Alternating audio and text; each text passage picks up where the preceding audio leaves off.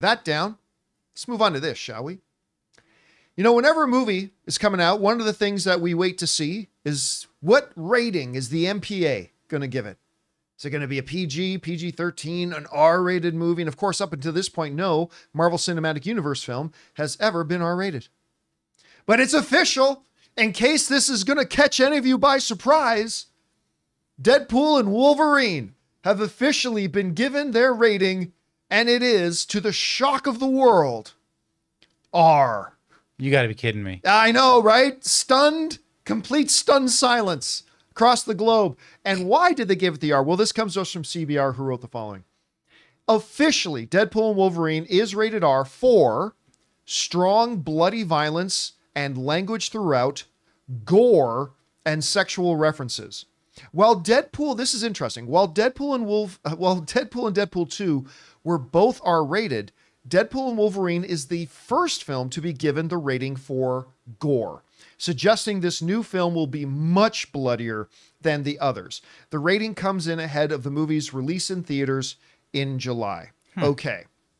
So, I mean, obviously, like facetiousness aside, we all knew they they announced it that this was going to be rated R. In case you had any doubts, the trailers kind of put the, those doubts to rest easy. The they broke the F bomb limit rule just in the trailers. So we knew the R rating was coming. I am fascinated by two things. One has to do with Deadpool and Wolverine itself. And that is what CBR pointed out. This is the first time, like, look, Deadpool and Deadpool 2 are both pretty bloody violent. Like they're they're pretty violent.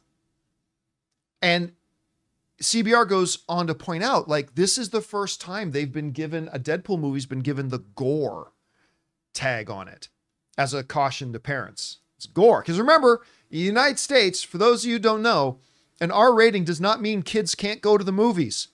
They can. As long as they've got one buddy who's a little bit older than them and is 18, as long as they go with one person who's 18 years of age or older, kids can come into the movie.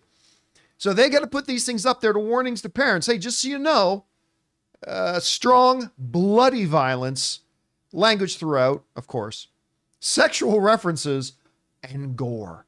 So my question is just how freaking bloody is this movie going to get? Okay, so that's the first thing that fascinates me.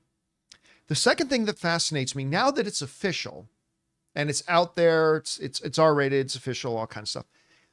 It does make me wonder on a bigger scale about how is this going to influence the future of the MCU? Because remember, for a long time, Kevin Feige said, we are not going to do R rated films, but he did say, with the one exception of Deadpool, right? Mm-hmm. Deadpool will be the one exception.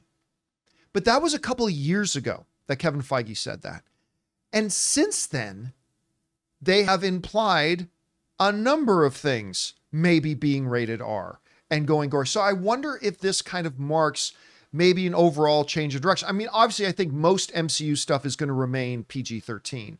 I think an, uh, another MCU movie that Deadpool goes and appears in will still be a PG 13 film. But it, it's kind of signaling to me, I think, that we're going to see them play around a little bit with, mm, let's say, edgier stuff. Yeah, I don't think you're going to see that in Avengers, No, not at all. but they're definitely and and I think um surprisingly I would think it would be more on the cinematic side, but I really think they're gonna they're gonna edge into the Disney Plus stuff because we've already seen it with Yeah. Echo, Yep. and they've already said that. Although uh, I wouldn't say Echo was no, R. you no, what I mean? know, but still, but yeah. they're dipping their toe, right? Yeah.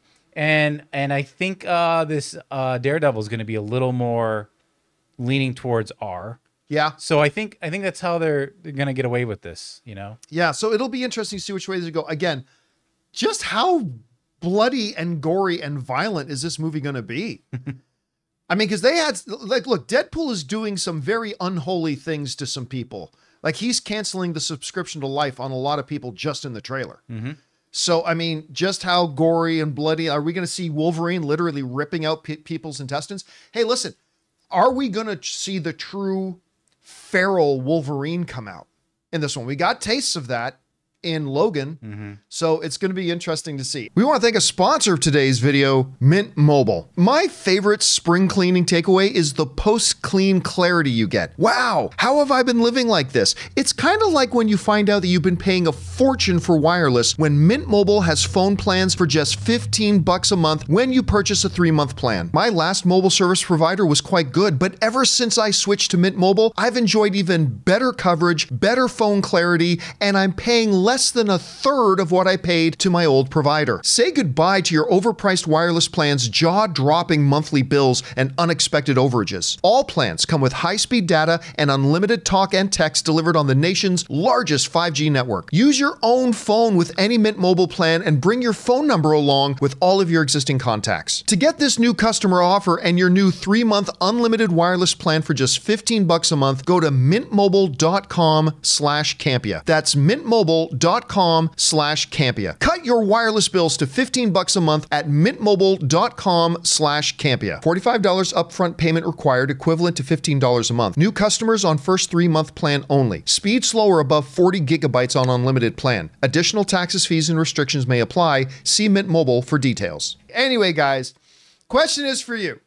What do you think about this? It's now official to nobody's surprise. It's rated R, but it's warning us that this could be the most violent and gory with the gore tag in there as well. Just how violent do you think this thing can get? How much do you think Marvel might be willing to play around in the R rated sandbox, you know, now coming out of Deadpool and Wolverine? Whatever you guys think, jump down into the conversation below and let us know your thoughts. Hey guys, thanks so much for watching this video. Make sure you like the video, leave a comment, and subscribe to our channel. And don't forget, we have a daily podcast called the John Campea Show Podcast, available on Apple Podcasts, Spotify, or your favorite podcasting app of choice. Go and subscribe to it today so it'll be there when you need it.